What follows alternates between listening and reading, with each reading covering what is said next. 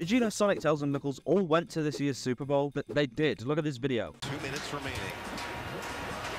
Oh, and there's everyone's favorite hedgehog, Sonic and his pals Tails and Knuckles. That's off the Knuckles, by the way. Similar to Larry, got the memo